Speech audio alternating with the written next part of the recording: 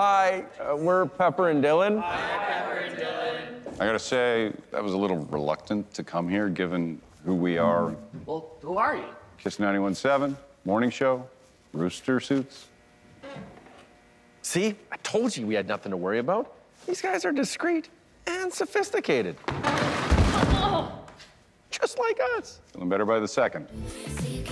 Wake the fun up weekday mornings with Pepper and Dylan on Kiss 91.7.